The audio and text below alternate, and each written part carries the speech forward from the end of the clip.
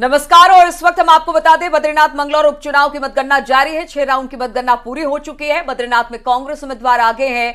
लखपत सिंह बुटोला उन्नीस वोट से आगे, यानी 1935 वोट से आगे चल रहे हैं। मंगलौर में भी कांग्रेस उम्मीदवार आगे हैं। काजी निजामुद्दीन आठ हज़ार सात सौ छत्तीस वोट से आगे चल रहे हैं। यानी जो दोनों सीटें हैं, यानी कि बद्रीनाथ और मंगलौर, दोनों जगह पर इस वक्त तक कांग्रेस बढ़त बनाए हुए है। मतगणना जारी है। उपचुनाव की छह राउंड की मतगणना हो गई है। बद्रीनाथ में कांग्रेस उम्मीदवार आगे चल रहे हैं लखपत बुटोला। इस वक्त एक हज़ार नौ सौ पैंतीस वोट से आगे हैं। मंगलौर में भी कांग्रेस उम्मीदवार आगे हैं। काजी निजामुद्दीन इस वक्त आठ वोट से आगे चल रहे हैं।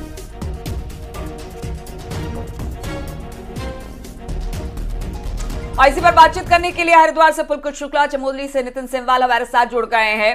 पुलकित, अगर हरिद्वार की बात की जाए, यहाँ पर कितने राउंड अब तक हो चुकी है गिनती, कितने राउंड की? और बताया जा रहा है कि दोनों सीटों पर कांग्रेस आगे है, यानी कि अभी तो फ़िलहाल दूर दूर तक कोई टक्कर में दिखाई नहीं दे रहा, और कितने राउंड की गिनती अभी बाकी है?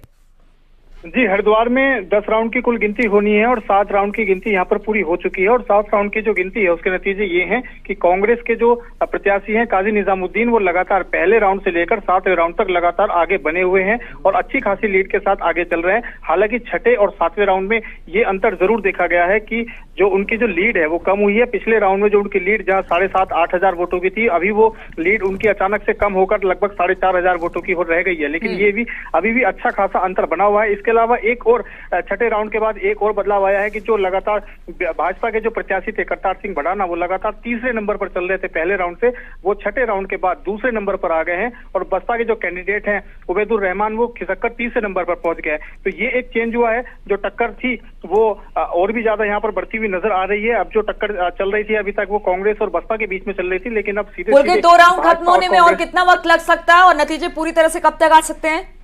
जी देखिए जिस तरह से पांचवा राउंड जब खत्म हुआ तो उसके बाद जो वोटों की जो गिनती है उसकी गति काफ़ी तेज यहाँ पर बढ़ गई है और जो तीन राउंड अभी रह गए हैं आठ नौ और दस राउंड रह गए हैं उम्मीद जताई जा रही है कि लगभग एक घंटे में पूरी तरह से नतीजे सामने आ जाएँगे जो लीड है वो ज़रूर हम्म। कम हुई है लेकिन अगले तीन राउंड में ये जो बढ़त है जो करतार सिंह बढ़ाना ने बढ़त बनाई है ये पूरी तरह से हम्म। बढ़त बना पाते हैं या इस अंतर को पाट पाते हैं या नहीं ये देखने वाली बात होगी लेकिन कांग्रेस यहाँ पर ज़रूर कांग्रेस के लिए ज़रूर यहाँ पर राहत वाली खबर है और पूरी तरह से आगे ठीक है राहत वाली खबर चमोली से भी इसी तरह की राहत वाली खबर कांग्रेस के लिए आ रही है। नितिन सिंहवाल यहाँ से जुड़े हुए हैं। नितिन, अब तक कितने राउंड की गिनती हो चुकी है?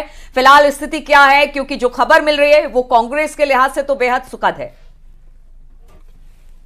मिल रही है, वो कांग्रेस के लिए काफ़ी सुखद खबर है। कांग्रेस प्रत्याशी जो लखपत सिंह बुटोला है, वो बद्रीनाथ विधानसभा सीट पर दो हज़ार पाँच सौ सात वोटों से अभी आगे चल रहे हैं। सातवें राउंड की जो मतगणना है, वो लगभग पूरी हो चुकी है। आठवें राउंड की शुरू है और अब छह राउंड की मतगणना और रह गई। यानी कि कांग्रेस प्रत्याशी लगातार प्रत्येक राउंड में लीड करते चले जा रहे हैं। हालाँकि कुछ जगहों पर देखा था कि भाजपा को थोड़ी सी राहत ज़रूर मिली, लेकिन बाकी कोई भी ऐसा बूथ नहीं दिख रहा है जहाँ पर बीजेपी को वोट मिले हो।